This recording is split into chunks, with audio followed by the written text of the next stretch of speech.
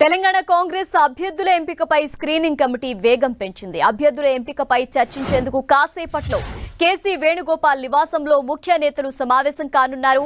ఇవాళ అరవై నియోజకవర్గాల అభ్యర్థులతో screening committee chairman Muraleedharan Telangana Congress నేతలు భేటీ కానున్నారు.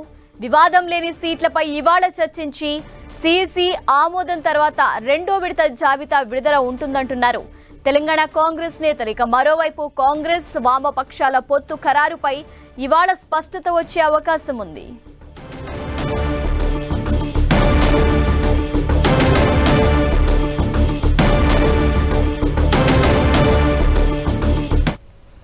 ఇదే విషయానికి సంబంధించిన మరింత సమాచారం మా ప్రతినిధి గోపి అందిస్తారు. గోపి ఎస్ కాంగ్రెస్ రెండో విడత అభ్యర్థుల జాబితా పైన ఢిల్లీలో కసరత్తు జరుగుతోంది. ఏఐసిసి ప్రధాన కార్యదర్శి కేసీ వేణుగోపాల్ నివాసంలో ప్రస్తుతం స్క్రీనింగ్ కమిటీ సమావేశం మరి కాసేపట్లో ప్రారంభం కాబోతోంది. ప్రస్తుతం కేసీ వేణుగోపాల్ నివాసానికి స్క్రీనింగ్ కమిటీ అధ్యక్షుడు మురళీధరన్ చేరుకున్నారు. ఈ రోజు రెండో విడత జాబితా అభ్యర్థులకు సంబంధించిన అంశంపైన చర్చించబోతున్నాం. ఏ క్షణంలో అయినా సరే రెండో విడత అభ్యర్థుల జాబితా ప్రకటన ఉంటుంది అని చెప్పి ఆయన చెప్పడం జరిగింది. అలాగే సిపిఎం సిపిఐతో చర్చలు కొనసాగుతున్నాయని చెప్పి చెప్పారు. వామపక్షాలతో పొత్తులకు సంబంధించిన అంశంపైన కూడా ఈరోజు స్పష్టత రాబోతోంది. ఈరోజు దాదాపు అరవై సీట్లకు పైగా ముఖ్యంగా చర్చ జరిగే అవకాశం ఉంది. మొదటి విడతలో యాభై ఐదు స్థానాలకు అభ్యర్థులను ప్రకటించడం జరిగింది. కాంగ్రెస్ మరో అరవై నాలుగు స్థానాలకు సంబంధించి పెండింగ్లో ఉన్నాయి. సో ఈ ఈ రోజు మెజారిటీ స్థానాలకు సంబంధించి ఒక స్పష్టత వచ్చే అవకాశం ఉంది. వివాదం లేని సీట్లపైన ఇవాళ చర్చించి సిఈసి ఆమోదం తర్వాత రెండో జాబితాను సైతం విడుదల చేసే అవకాశం కనిపిస్తోంది. అలాగే వామపక్షాలకి రెండు చెరో రెండు సీట్లపైన ఇప్పటికే అవగాహన కుదిరినట్లుగా సమాచారం. సిపిఐకి ఇప్పటికే ఇటు ఇటు ప్రధానంగా సిపిఐకి అలాగే సిపిఎంకి ఈ రెండు పార్టీలకి ఏ ఏ స్థానాలు ఇచ్చేందుకు సిద్ధంగా ఉన్నాము అన్నదానికి సంబంధించి కూడా ఆయా పార్టీలతో చర్చించడం జరిగింది. సిపిఎంతోనే కొంత వివాదం నెలకొంది.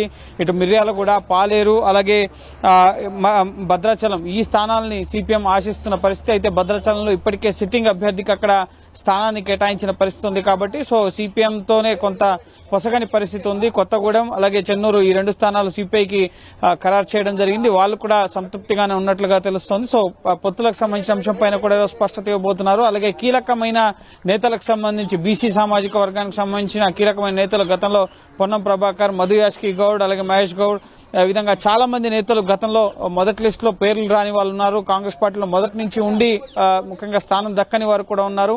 సో ఆ స్థానాలకు సంబంధించి కూడా ఈరోజు చర్చించబోతున్నట్లుగా తెలుస్తుంది. సో వివాదరహితంగా ఉన్న స్థానాలకు సంబంధించి సెకండ్ లిస్టులో పేర్లు విడుదలయ్యే అవకాశం ఉంది.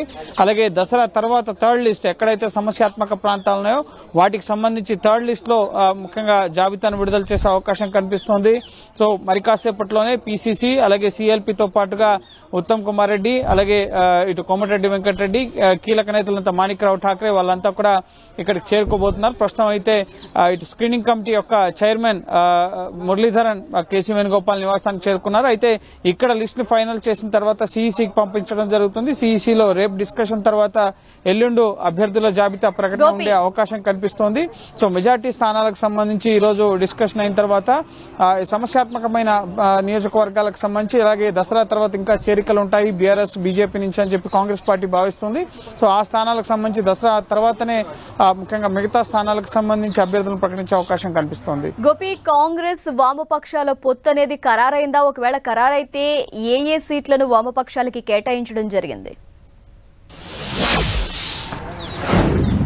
ఎస్ వామపక్షాలకు సంబంధించి సిపిఎం సిపిఐ ఈ రెండు పార్టీలకు సంబంధించి చెరో రెండు స్థానాలని ఇవ్వాలి అని చెప్పి కాంగ్రెస్ పార్టీ భావిస్తోంది. వాళ్ళు మొత్తంగా పది స్థానాలను అడిగారు కానీ అంత ప్రాబల్యం వామపక్షాలు చూపించలేవు. గెలుపు అవకాశాలు కూడా కాంగ్రెస్ పార్టీకి తగ్గిపోతాయి. అనవసరంగా స్థానాలను కోల్పోవాల్సిన పరిస్థితి ఏర్పడుతుందని చెప్పి కాంగ్రెస్ పార్టీ భావించడం జరిగింది. ఉమ్మడి ఖమ్మం జిల్లా ఉమ్మడి ఆదిలాబాద్ జిల్లా ఈ ముఖ్యంగా ఈ జిల్లాల నుంచే ఎక్కువ సీట్లను వామపక్షాలు ఆశిస్తున్న పరిస్థితి ఉంది. సిపిఐతో ఇటు చెన్నూరు అలాగే కొత్తగూడెం ఈ రెండు స్థానాలు కూడా వాళ్ళకి ఆఫర్ చేశారు. సో వాళ్ళు కూడా సంతృప్తిగా ఉన్నట్లుగా తెలుస్తుంది. అయితే సిపిఎం కి సంబంధించి మాత్రం మిర్యాలగూడ అలాగే వైరా భద్రాచలం ఈ పేర్లు మునుగోడు ఈ పేర్లు ప్రధానంగా వినిపిస్తున్నాయి. సో ఈ కాన్స్టిట్యున్సీస్కి సంబంధించి కొంత సందిగ్ధత నెలకొంది. భద్రాచలంకి సంబంధించి ఇప్పటికే సిట్టింగ్ అభ్యర్థికి అక్కడ స్థానం కల్పించడం జరిగింది కాబట్టి మళ్ళీ వెనక్కి వెళ్ళే ప్రసక్తి లేదు అని చెప్పి కాంగ్రెస్ చెప్తోంది. సో సిపిఎం తోనే కొంత పసగని పరిస్థితి కనిపిస్తోంది. సో వారిని ఒప్పించే ప్రయత్నం కాంగ్రెస్ నాయకత్వం చేస్తుంది. అందులో భాగంగానే ఈ రోజు వామపక్షాలకు సంబంధించిన పొత్తుకు సంబంధించి కూడా అధికారికంగా ప్రకటించే అవకాశం ఉంది. చర్చలు కొనసాగుతున్నాయనే కాసేపటి క్రితం మురళీధరన్ చెప్పడం జరిగింది.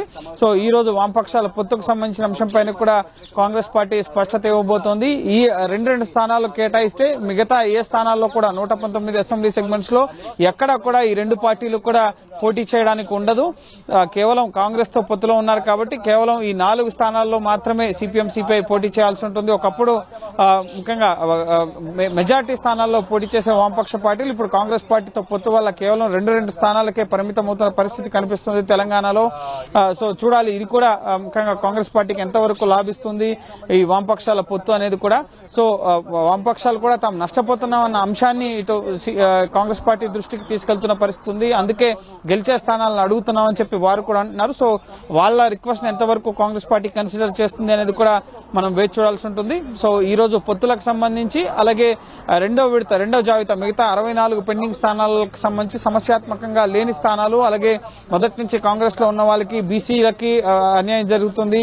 అలాగే ఎస్సీ ఎస్టీలకు కూడా అన్యాయం జరుగుతుంది. చాలా తక్కువ సీట్లను కేటాయిస్తున్నారు. మొదటి నుంచి పార్టీలో ఉన్న వారికి కాకుండా కొత్తగా వచ్చిన పారాషూటర్లకి సీట్లను కేటాయిస్తున్నారు అన్న ఒక చర్చ మొదటి లిస్ట్ వచ్చిన తర్వాత బాగా జరుగుతున్న పరిస్థితి సో ఇటువంటి నేపథ్యంలో సెకండ్ లిస్ట్లో ఎంతవరకు మహిళలకు అలాగే బడుగు బలహీన సామాజిక వర్గాలకు బీసీ సామాజిక వర్గానికి మైనార్టీలకి స్థానం కల్పిస్తారనేది కూడా మనం వేచి చూడాల్సి ఉంటుంది. ఈ రోజు స్క్రీనింగ్ కమిటీ చర్చ తర్వాత రేపు సిఈసికి ఒక లిస్టు వెళ్ళడం జరుగుతుంది. సిఈసిలో ఫైనల్ అయిన తర్వాత రేపు లేదా ఎల్లుండు రెండో విడత జాబితా అనేది విడుదలయ్యే అవకాశం ఉంది. అయితే మొత్తం ఒకటే రెండో విడతలోనే అభ్యర్థులను ఖరారు చేస్తారా? లేక సమస్యాత్మకమైన స్థానాలకు సంబంధించి వాటి పెండింగ్ లోంచి మూడో విడత కూడా జాబితా అనేది ఉంటుందా అనేది కూడా మనం వేచి చూడాల్సి ఉంటుంది. ఏదేమైనప్పటికీ ఈ రోజు కీలక చర్చలు అనేవి జరగబోతున్నాయి. కీ కాన్స్టిట్యూన్సీస్కి సంబంధించి కాన్స్టిట్యూన్సీస్కి సంబంధించి ముఖ్యంగా ఇద్దరు కంటే ఎక్కువ మంది అభ్యర్థులు బరిలో ఉన్నవారు కొత్తగా పార్టీల్లోకి చేరిన వారు అలాగే గెలుపు అవకాశాలు సర్వేలు సామాజిక సమీకరణాలు